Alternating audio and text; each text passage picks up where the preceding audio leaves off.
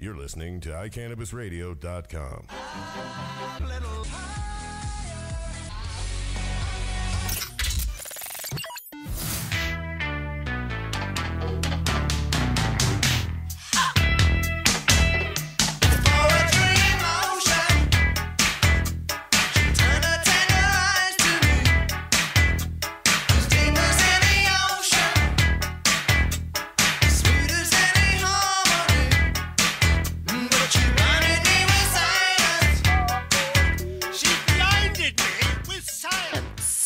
Hello, and welcome to In the Lab with Genifer and Jill. Hi. And our special guest today, Chris Peck, who is uh, the laboratory tech at CannLabs. Hi, Chris. Hello. How are you? Good, thank you. Poor Chris got put on the spot today, so, but we're going to break him right into radio Yay. quick like. But before we get to anything, what are we going to be talking about, Jill? Today? What are we Oh, announcing? Yes, Jill. we're anna- we're announcing our um, cannabis cup winner, which is awesome! Yay! Yay! Um, he was supposed to. We were supposed to call him and embarrass the heck out of him, but we have to record early today because of the multitude of meetings this afternoon. So we can't talk to Brian, but Brian is from Washington D.C. and he got all the answers right. And I do have to mention that he was not actually the first person to get all the questions right, but the first person was under 21. and so unfortunate. And actually, I should give him a shout out. And we should send him some swag. We will are definitely sending him some swag. But we feel Um, bad, but legally we cannot put under 21 year olds in a hotel room and set them free in Denver on 420 weekend. So That's exactly. we'll have to right. do this again in like two years because I think what he was 19. He was nineteen. And we also had a young woman that answered too and got all but one right. So she was really close too. So I'm glad we have the young audience. So do I, and taking such an interest in science. I mean, um, the sad part is, is I know that it's mainly my fault, and I apologize. It's the first contest we've done here, but um, yeah, I just kind of assumed that since it was for the cannabis cup, and you have to be 21 years of old uh, years or older to consume that. Uh, we didn't have to announce that every time. So I apologize for that. I did say that you had to be over 21 um, on one of the shows, but clearly I should have said it every show. So I so apologize, and I hope you continue to listen. And for those two people, um, I will be getting out some some swag, hopefully some good swag. But um, so Brian, So Brian's Yeah. great. Brian's great. Brian's an activist as well, and um, when he was in college, worked with Students for Sensible Drug Policy. oh, and is still an activist. He's working on um, SSDP, which I adore. Love that organization and their executive director Aaron Houston. They do so much amazing work, and it was really the SSDP kids who probably won 64. They came out in mass from all over the country to volunteer, make phone calls, and what is SSDP again? Students for Sensible Drug Policy. Okay. So it is a campus organization at all schools, and students can start their own chapter. And it is just an amazing, amazing group of kids, and they worked their butts off. Um, and generally, quite a few of them grow up to work in drug policy. So if you dream of working for like MPP or Marijuana um, Policy Project. Yep, 64 campaign and to further move our movement along, SSDP is a great place to start. But so now he's currently working on the Amplify project, which is trying to get a table at Red Rocks. So hopefully we can help. I'm going to try to help make that happen. Um, it's a project of SSDP that connects activists with artists who support drug reform policy. So they kind of work with um, musicians and different artists and do really cool group events. So I'm really excited that Brian is so involved in the movement and won. So he's so excited. There's no way that he and his um, fiance could have afforded to come to Denver. So it's he's That's so awesome. excited. I wish we could. So him and his fiance, that's awesome. Yeah. So I wanted to give a shout out to Jessica Jessica Mock. She um, actually had one. She answered the extra credit, but she had one wrong. Um, she wasn't the first. Um, it was Kyle, and for some reason, I cannot find his information on here. But Kyle, you know who you are. Thank you so much for listening. And clearly, you had been listening all along because you got the answers to us, I think, at 409 or something crazy like that. Yeah, and they Literally. were like verbatim. So I could tell when I was looking at people's answers which ones they looked up online Right. versus which ones they actually listened to because there was Totally different. ways we explained things or said things and you could tell when it was and Kyle had the verbiage down from the shows. And Jessica, yeah, just um, just so you know, uh, the one that you did, one of the ones that you missed were the two. Wasn't it the two stages of, of uh, a CO2, machine. And your answer was right, but it wasn't what we talked about on, on the, the show. show? So, So the two stages that we are looking for are um, subcritical, critical and subcritical critical, and subcritical. And she put liquid gas, I believe. Or solid. But either way, I was gas. right. Right. So So, but anyway, uh, we want to say thank you so much for um, listening. I hope you continue to listen, and we'll hopefully continue to have great uh, contests. And again, I'd like to say, oh, thank you so much for Blue Sage. They sported huge for two tickets uh, from Washington, D.C. to Colorado. And then we also have the clinic who took care of the hotel room, the Marriott downtown. And then um, Atmos, Matt Ellis from Atmos donated the two tickets to the Cannabis Cup. Very exciting. I tried to get Nico on from High Times, but as you can imagine, he's probably super busy. So maybe I can, uh, maybe you can get him on next week. He might even be here next week because I think they come in a week early.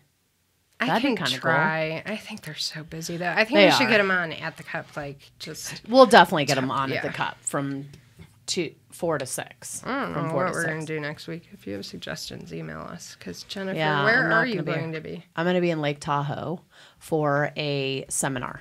It's a uh, three part seminar that I paid a lot of money to do. So I'll be there. It'll be my second uh, time there, and then I have one more time, and then I graduate. Um, Actually, I know what we're going to do next week because I've been working on analyzing the Massachusetts regulations that just came out, and they have, and this has been happening in Maine as well. So, Maine's regulations had a prohibition from using any pesticide on Okay. a crop.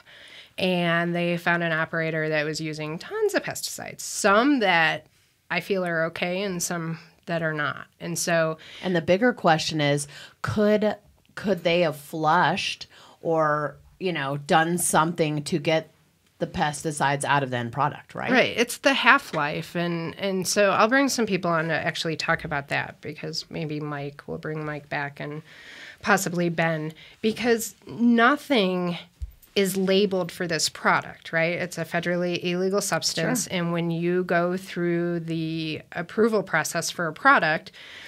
Um, EPA, FDA, everybody looks at it and says, okay, this is fine to use on tomatoes you're going to eat because they've studied half life. Well, nothing is approved for marijuana. So regulators are in kind of a sticky place about what to allow. So they just banned all pesticides. And what I found unusual is they didn't mention fungicides or rodenticides or any of the other evil sides. Molds.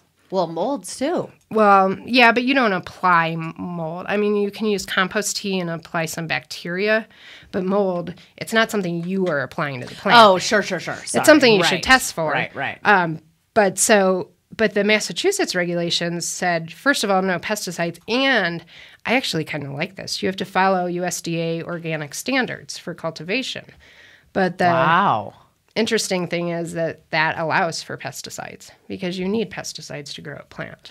Well, it's interesting, and I talked. Uh, I've had mixed feelings about that. Can you have a large scale grow with no pesticides? Can you? I don't know. Uh, people I've talked to say it's absolutely possible. Other people say it's absolutely not possible.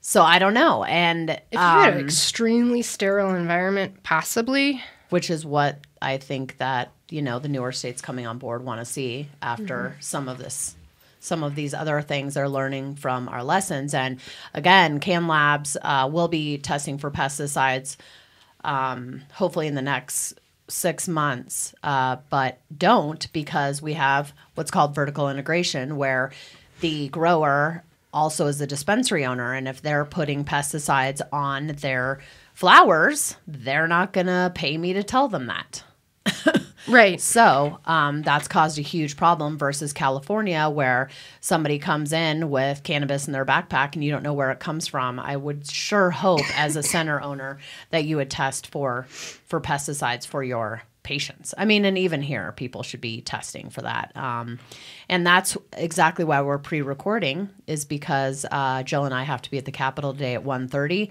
They're going all o- over the recommendations that were given by the task force, and um, they're going to be talking about vertical integration and also testing. Um, so, but the pesticide thing, it's it's going to be interesting. And again, we're talking about in, inhaling, and I'm really glad Chris is going to join us today because we just started testing for residual solvents.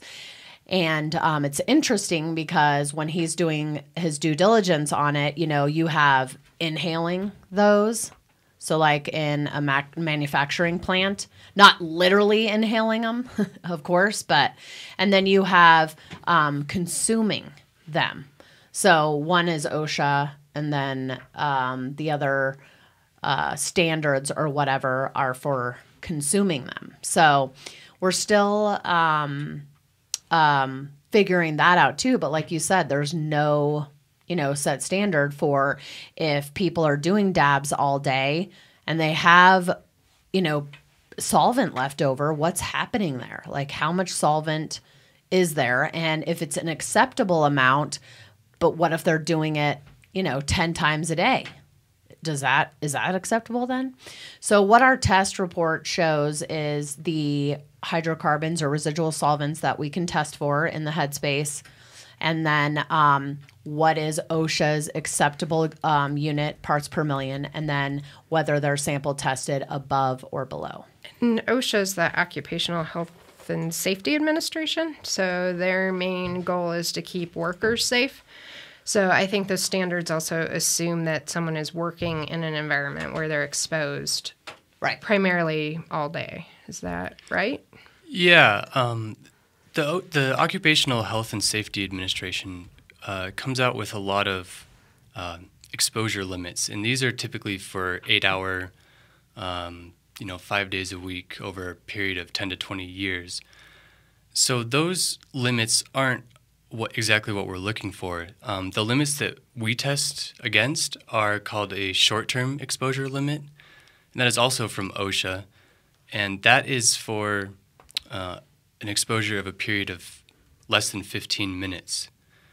And that is more inclined to what we're looking for, and that is an inhalation exposure. The problem we've been running into is trying to find uh, consumable um, exposures. So, for example, when edibles are made, we need to understand how that toxicity is different than when some when someone is smoking it. yeah Does it, I mean, does this information exist already? Because, you know, herbal product makers use solvents as well as we do. So you have, you know, um, soybean and hexane Yeah, for example, coffee is a uh, decaffeinated coffee is something that has been uh, extracted. The caffeine has been extracted with solvents such as organic solvents like uh, hexane or um, methylene chloride. Um, there's some improvements that have been made in the last 10 years, and a lot of the coffee now is being decaffeinated by what's called supercritical CO2 extraction, and that is a much safer method to use because CO2 is practically non-toxic, non-toxic to us. So that goes back to the ever ending how do you make hash, what's safer, um, etc. So um, it's going to be very interesting. My my thing is, and CannLabs' thing is safe and effective medicine or adult use, and um, let's keep it to where cannabis has never killed anyone. Um, I would hate to see, and you know, five to 10 years that people are dying from contaminants inside the cannabis. That would just be devastating. So we want to make sure that we're on top of that. And I'm going to have Chris uh, talk a little bit more about that. Let's go to break and we'll be right back. Blue Sage Microbes unveils the ultimate in superior soil, Ideal Soil, a 16 quart bag of the best growing soil ever engineered. Superior plant health and vitality is a direct result of the structure and chemistry of your soil. How good is your growing soil? Is your growing soil really balanced? How do you know? Well, Blue Sage Microbes has a newly designed growing soil that is the most advanced growing medium ever offered for cannabis cultivation. This is the only brand in the marketplace that provides growers with an ideal soil structure designed to work specifically with their cultivation systems. You will have your best grow results ever. Call now for a special introductory offer 888 959 551 or log on to bluesagemicrobes.com and experience a new level in growing. That's 888 959 551. Call CannaSure at 1 800 420 5757 for all your insurance needs. CannaSure understands the risks you face each day, and we are there to protect your business and your investment. Since 2010, CannaSure has been serving the cannabis industry nationwide. Call CannaSure at 1 800 420 5757 or visit us on the web at cannasure.com to learn more about our insurance and risk management services. Proud member of the NCIA. I'm Gary Johnson, and you're listening to iCannabis Radio, and I want to say, talk it up, Colorado. Most of pesticides used. All right. And Jill is talking to herself. I am. I do that a lot. Me too. Everyone does. And if they say they don't, they lie. Lie, lie, lie. Anyway, well, let's um, uh, let's meet Chris and get into a little bit about his background and everything like that. So, tell us about yourself, Chris. Okay. Uh, well, I grew up here in Denver, Colorado. Uh, went to Mullen High School and eventually found myself at Cal Poly in the central coast of California studying environmental engineering. And so I came back to Colorado after graduating there. And uh, the first job I found out of school was uh, working for Jen here at CannLabs. Woohoo! And it's uh, a lot of the things I learned at Cal Poly actually have you know some significance here in the medical cannabis industry and you know in the future recreational. Um, what I was doing at Cal Poly was uh, environmental science and sampling and uh, basically looking at contaminants in the soil, in the water, and in the air. And so a lot of that translated really well into this industry where I'm looking at residual solvents in the um, concentrates and edible bases that are being made here in Colorado very exciting. And I, I must say, I am. Chris has been my angel. He came along, and as ever, all the lab techs at CannLabs, you start out as um, an intern. So he interned for a long time, and we finally brought him on board full time. And he is single handedly set up our residual solvent um, uh, protocol, um, mentored by a chemist from Chromadex which Chromadex is a huge nutraceutical testing lab out of California with a location in Boulder. So thank you, Keith and Steve, for helping CannLabs out um, to perfect our methodology. So, kind of talk about that um, and what uh, any surprises with it, any not. So, I mean, tell me a little bit about it. Well, first off, uh, I have to explain the the instrument we use is actually different than the one we test for potency with.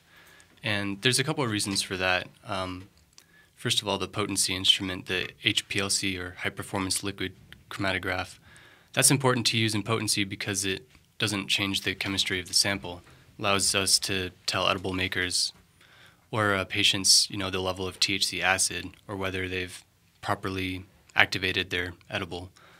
Um, in terms of residual solvents, that is typically done with a gas chromatograph. Um, the setup we have now is a involves a headspace, and I'll go into this you know in more detail in a second. But it's a headspace with a gas chromatograph uh, using flame ionization detection. Yeah, a lot of scientific jargon there, but basically we're taking the uh, uh, the gas portion of a sample and testing that for solvents like uh, propane, butane, hexane, isopropyl alcohol, um, some of the most commonly used solvents in our industry.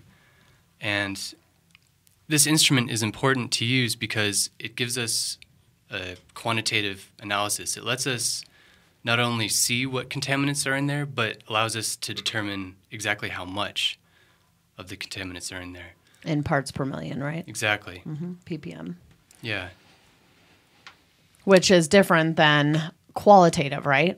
Right. The a, a popular qualitative analysis. uh, Qualitative meaning it cannot cannot have a number attached to it. basically, qualitative is just a yes or no Right. answer. Is it there? Yes. So that a popular technique for that is called liquid chromatography, and it became popular because of basically the uh, forensics that have been done in the by the department or the uh, DEA.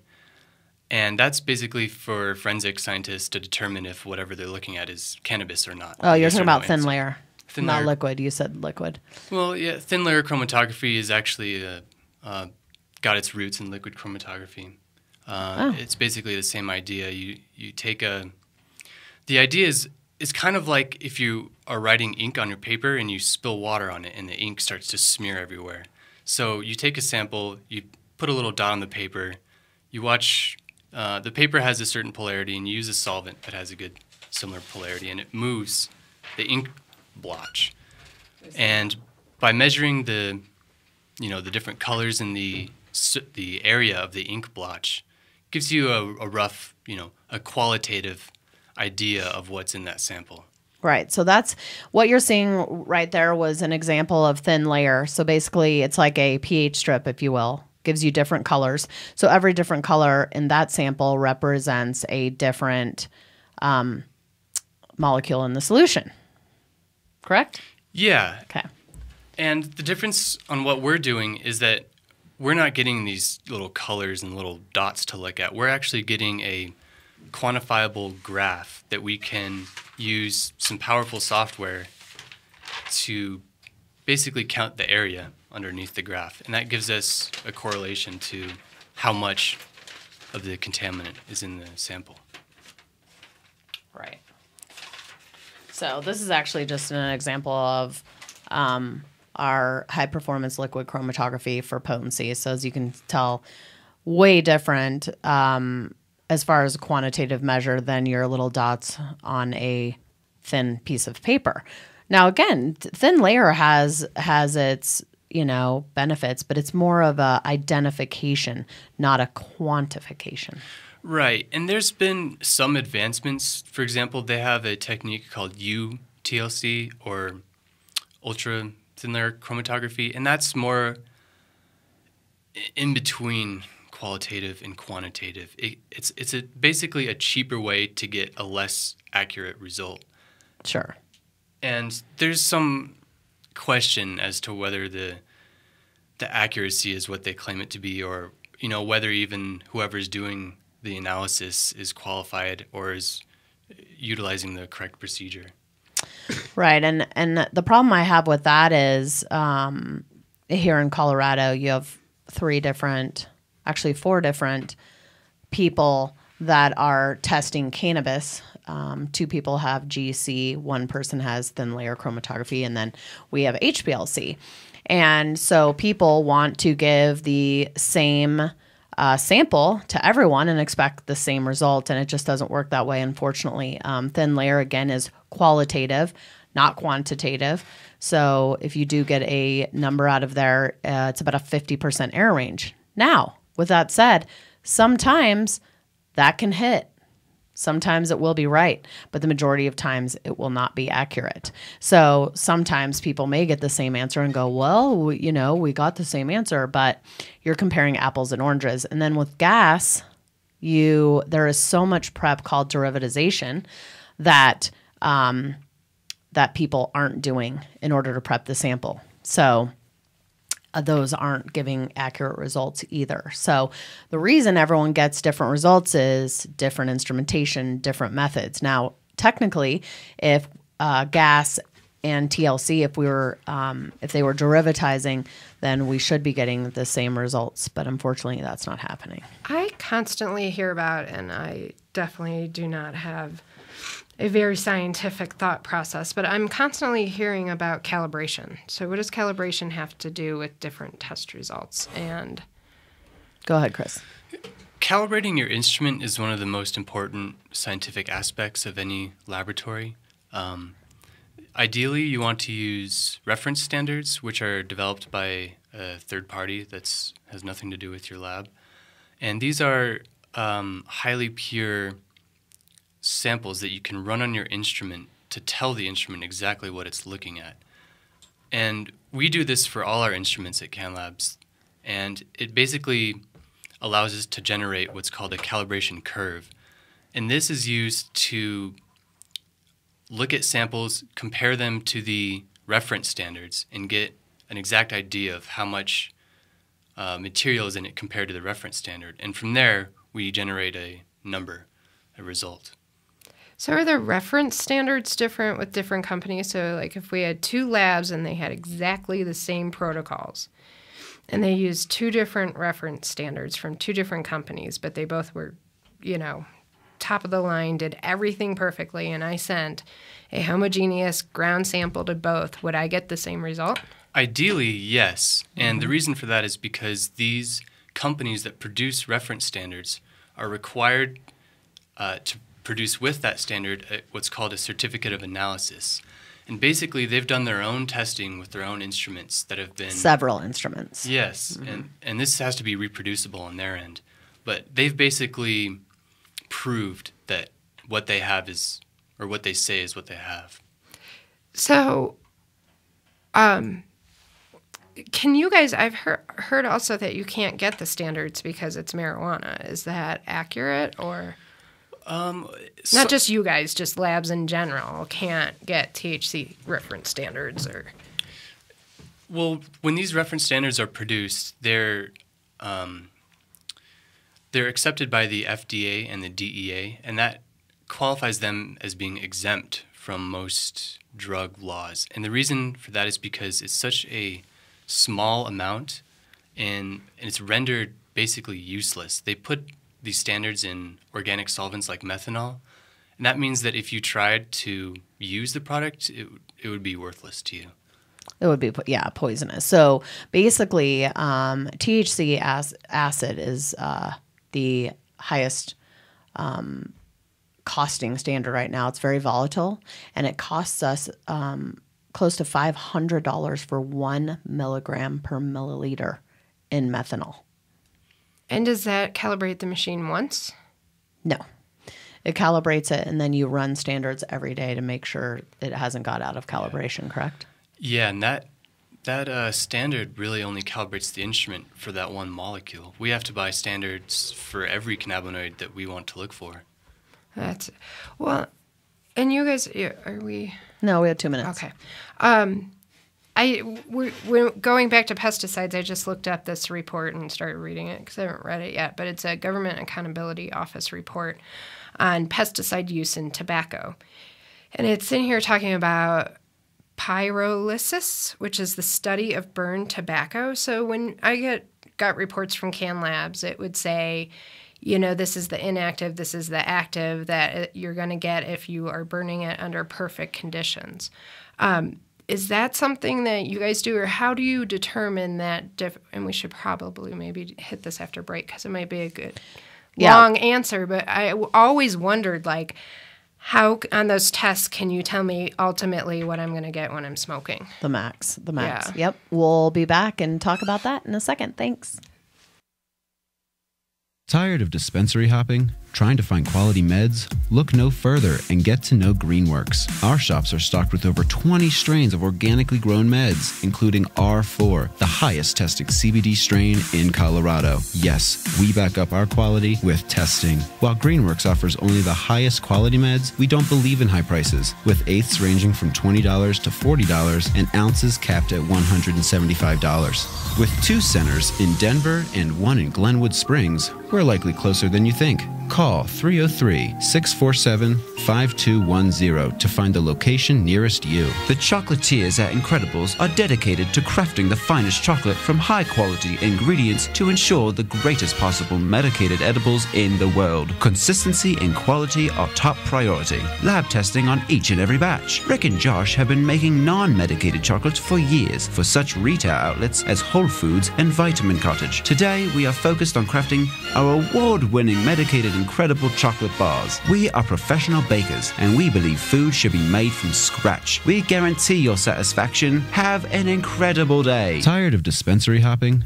Trying to find quality meds? Look no further and get to know Greenworks. Our shops are stocked with over 20 strains of organically grown meds, including R4, the highest testing CBD strain in Colorado. Yes, we back up our quality with testing. While Greenworks offers only the highest quality meds, we don't believe in high prices, with eighths ranging from $20 to $40 and ounces capped at $175. With two centers in Denver and one in Glenwood Springs, we're likely closer than you think. Call 303 647 5210 to find the location nearest you.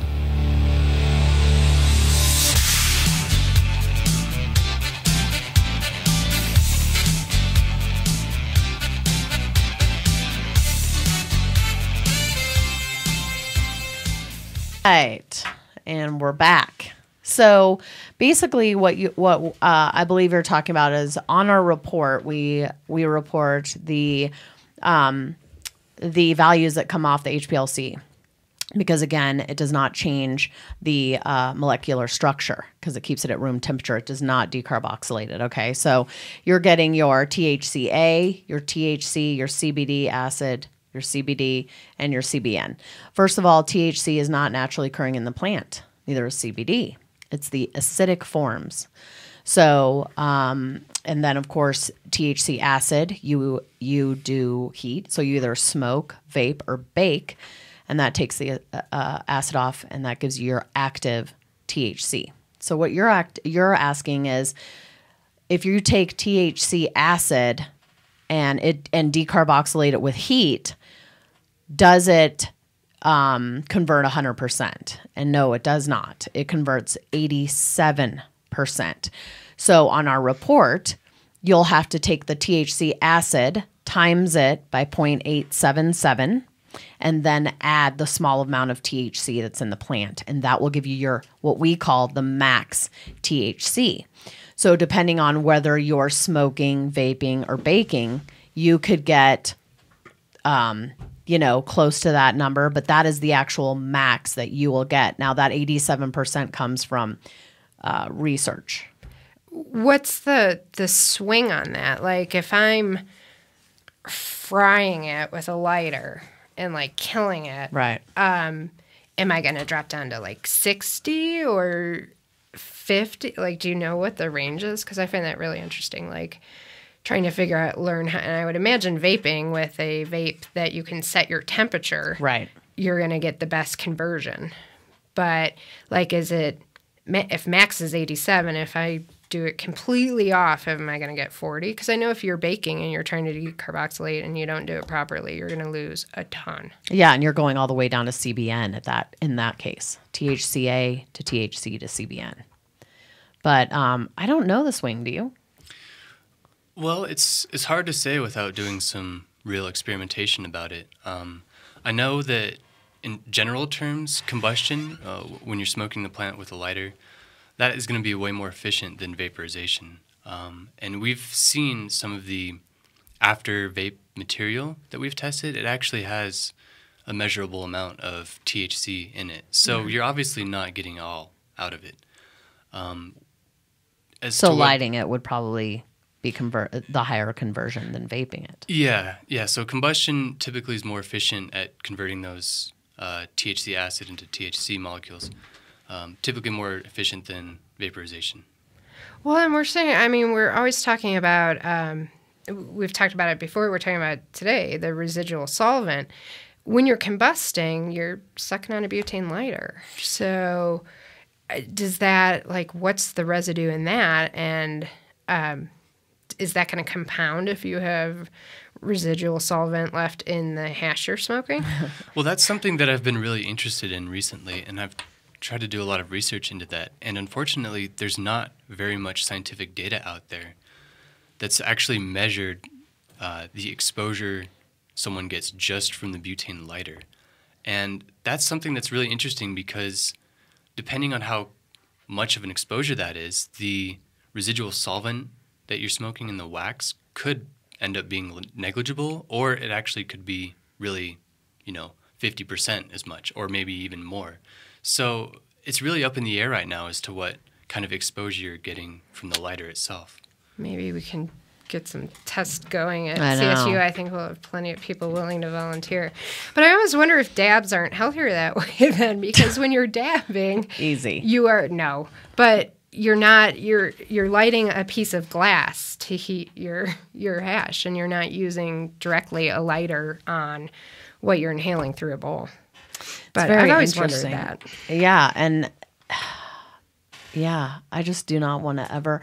And then, of course, when you smoke cigarettes, which I used to do a long time ago, I wonder how much goes in that too. You See, it makes you wonder, doesn't it? And I hope that we get to a place where we can we can check that out because that's very important. I know that um, a lab in California has done some. Uh, I think just wrote a paper on um, inhaling pesticides. So um, that should be very interesting. But of course, the longer you know we get into this, the more we're going to learn about it. Well, the thing I want to mention too about pesticides is if you take the broadest definition of pesticide, it's anything intended to kill pests. So, safer soap, which hmm. is completely non toxic, is technically a pesticide. And that is, you know, one of the things they got busted for in Maine. Glue traps are pesticides, Right. even though they don't ever touch the plant. So, Interesting, because I we always think of you know the big plane gnarly flying pesticide, over with right. in Mexico with DDT, right? But there are very organic and inorganic pesticides that are perfectly healthy, we think. And then there's other ones that have been shown to like have half lives of 100 years. So, you know, it, it's, we just don't know enough. Right, and then we're again inhaling it versus eating it off a tomato.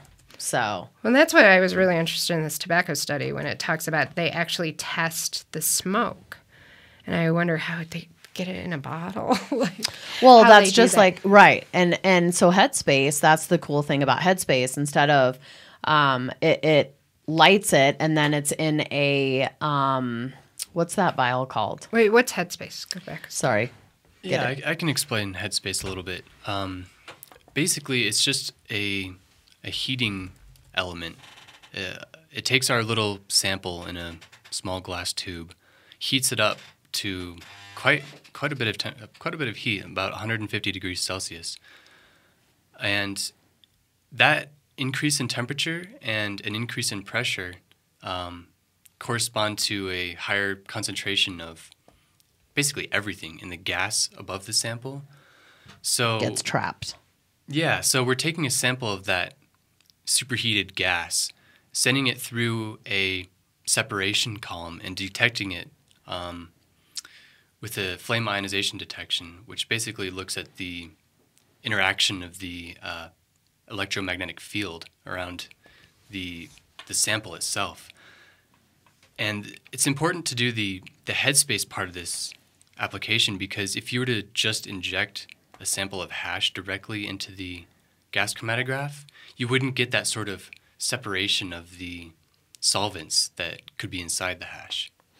So, for instance, um, another lab is is doing the same thing and just injecting it into the GC, and uh, the method for this even says that it's a qualitative measurement, although this person is giving a quantitative measurement. Um, so, like we showed you that chromatogram, um, it gives you, uh, it doesn't coelute, meaning the peaks are separated so you can get a good quantitative count. With just injecting into the GC, a lot of those peaks coelute and you cannot say for sure. So that will give you a false a false representation of what's actually in the sample because they're all going to pile up together and that's going to give you a false amount versus just taking one peak at a time and measuring those peaks. So that's very important to note. And um, the uh, GC that actually that's happening with the in the method itself says that it's a quantitative method, not qualitative. Although this this person is giving quantitative data. Big problem.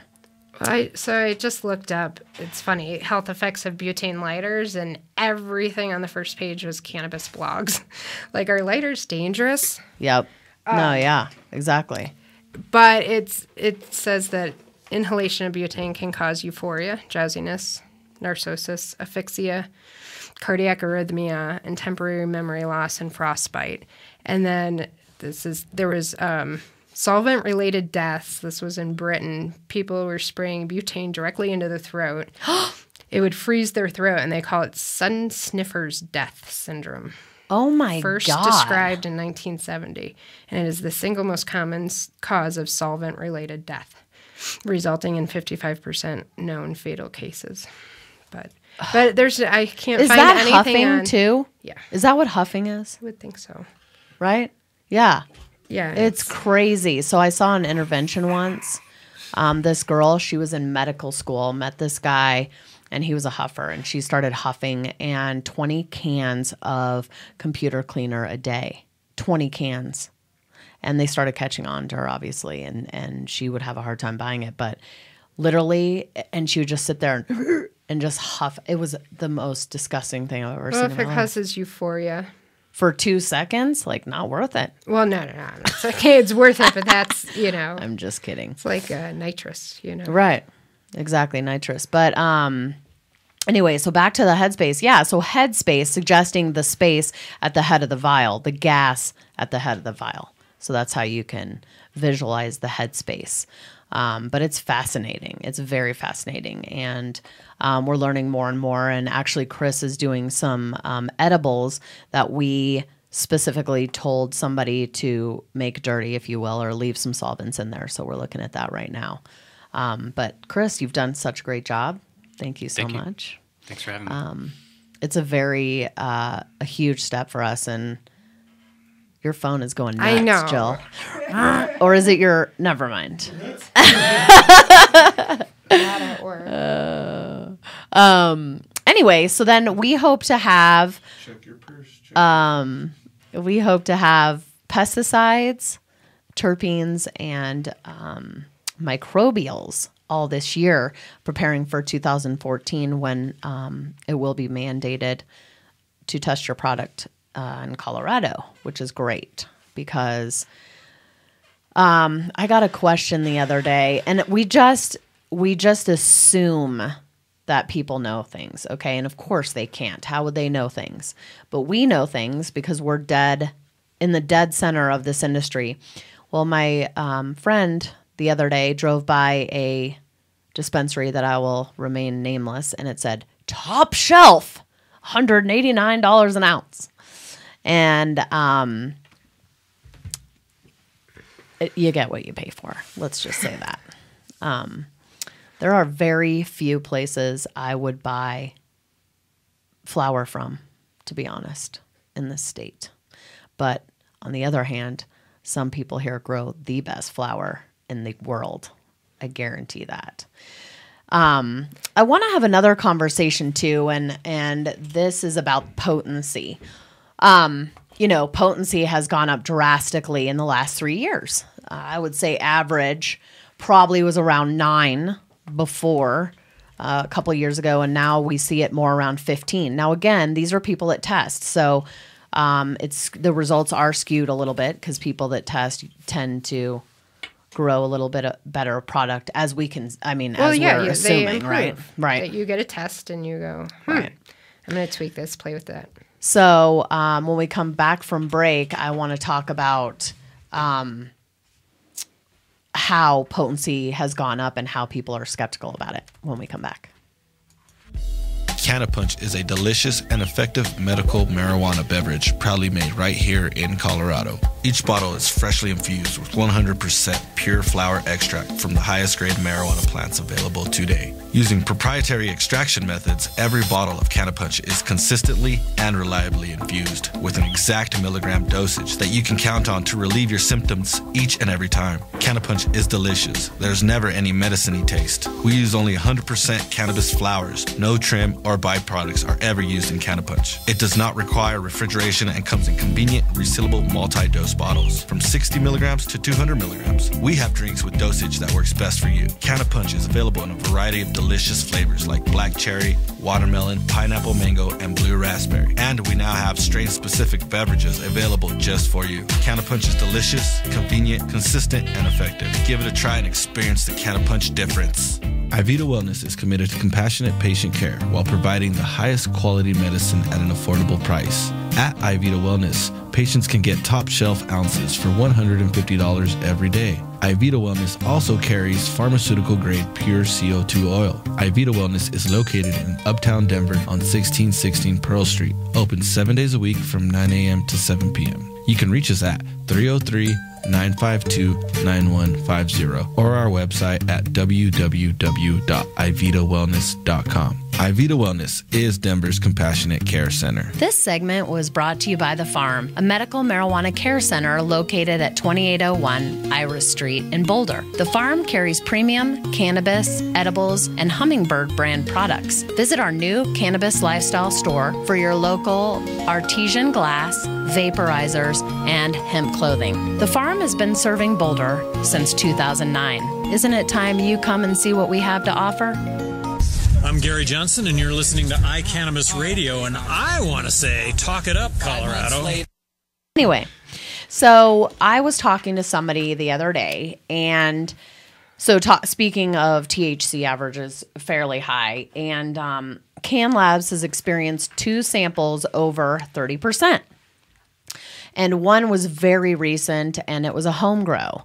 Um, which I believe. Um, clearly, it's easier to grow a home grow uh, with all TLC than it is, you know, on a larger scale. So I definitely believe that. Well, anyway, I was speaking with this person in the industry, and they said they called BS on that and said that. Um, they didn't believe that anything over 26% THC.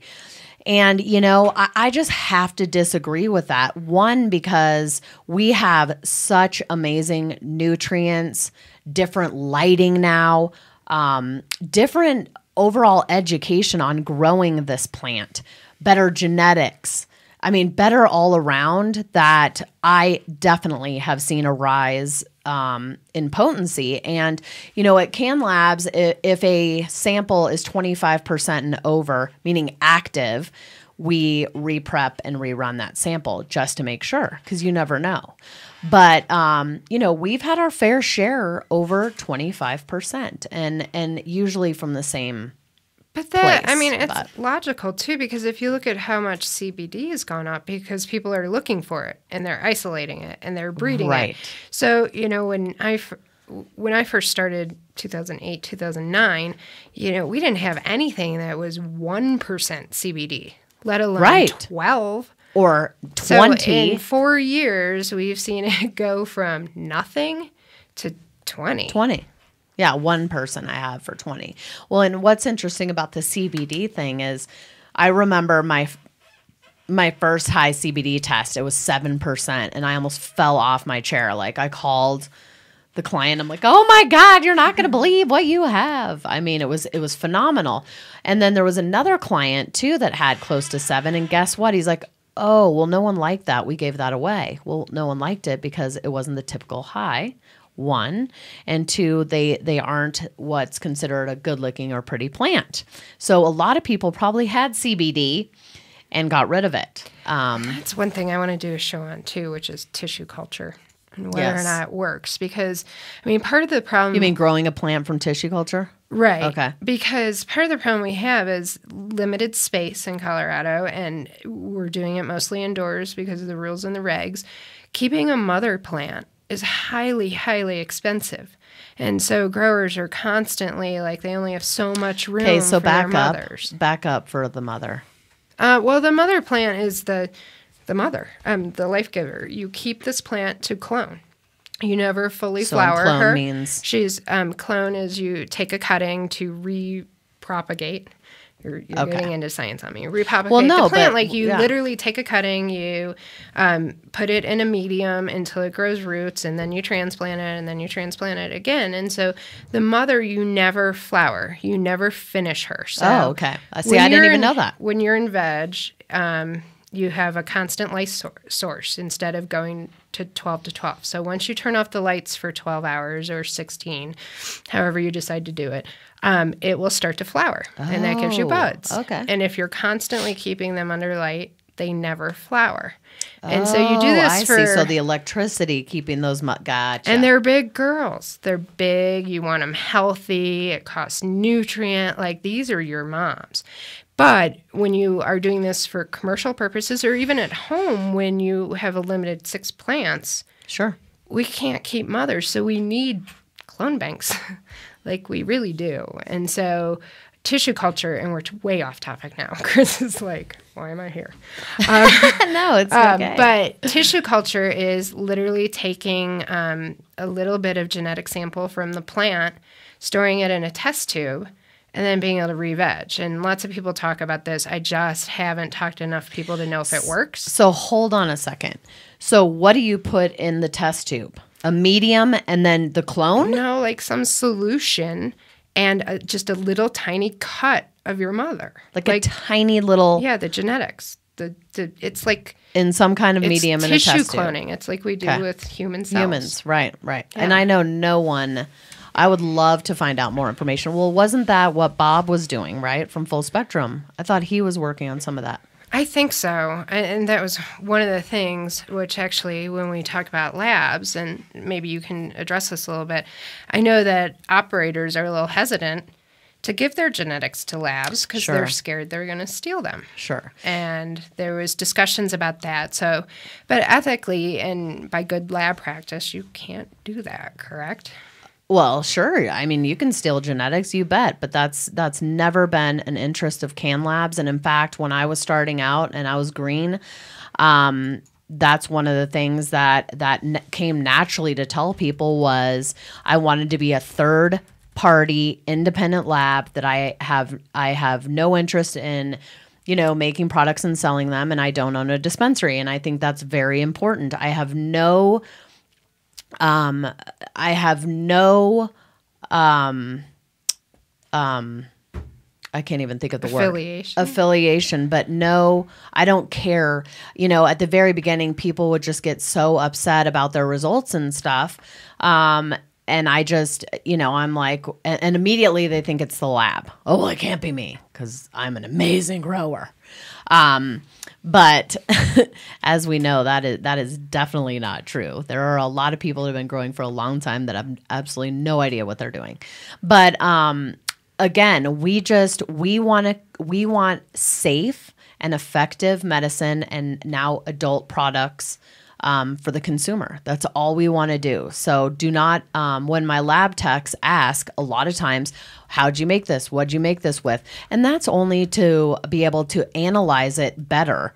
Um, it is not because we're interested uh, in any of that. But of course, you can back. But again, if we want to do that, I could have went to your store and bought your stuff. I mean, Right.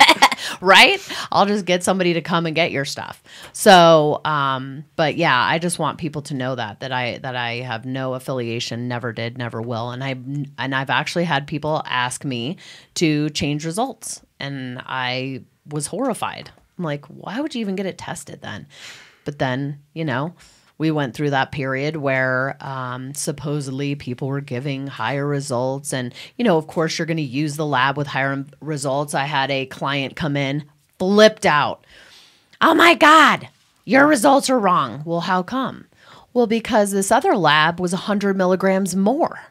Oh, so then we're automatically wrong um you know it's it, it it's ridiculous but that's kind of the state of the affairs right now. And i can't wait until you know we get regulated so people cannot accuse my instrumentation or my lab techs or whatever uh, that we're that we're inaccurate because we're not. And we take a ton we we do a ton of things in order to be accurate like you know getting pipettes calibrated scales calibrated by third parties to come in and tell us you know we i get all of my methods checked you know and I, in the process of getting things validated.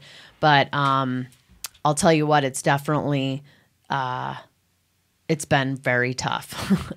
But you know we're seeing the light at the end of the tunnel Well, and all the new states coming on are mandating testing too, and Of course they are.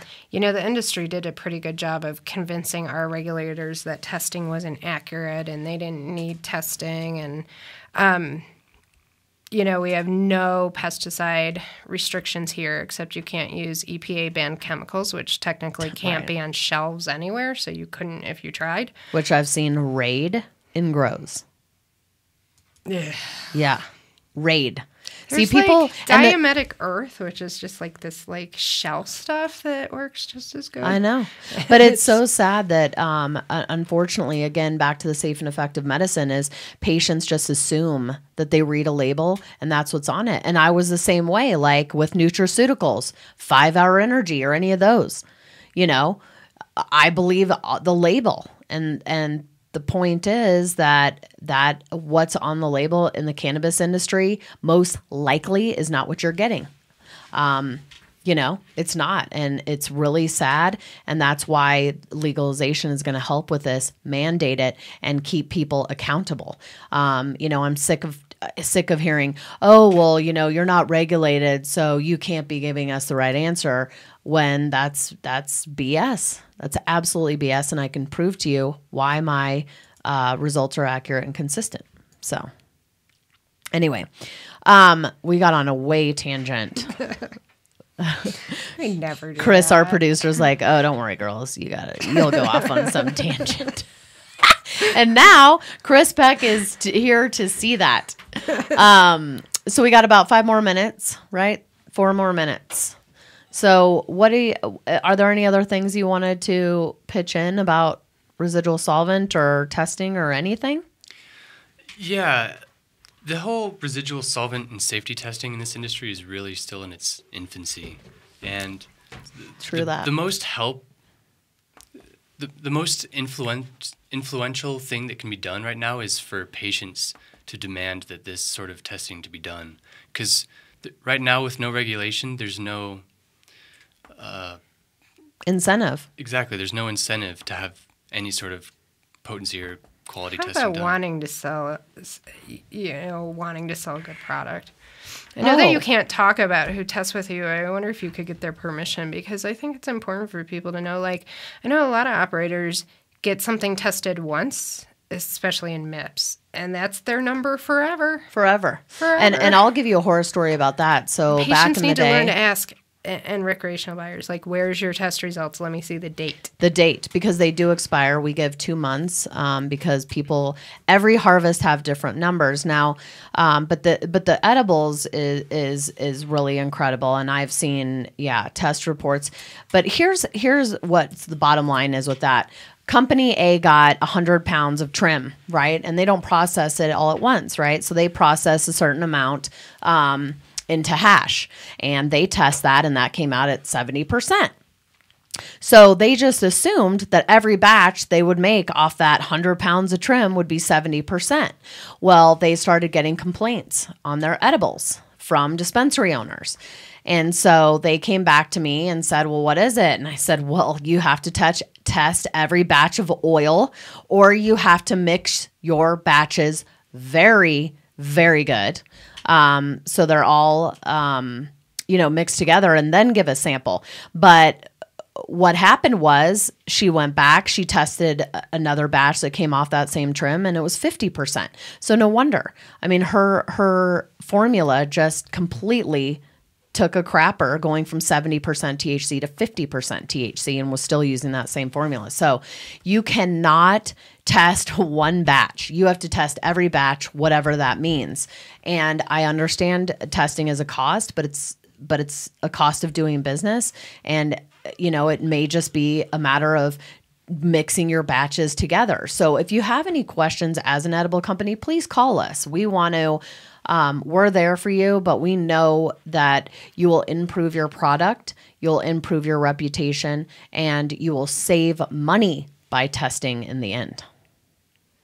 So, um, but that is that is true. People just think, oh, it's the same trend. It's going to be the same batch of hash. It's it's just not, right? And the sleight of hand.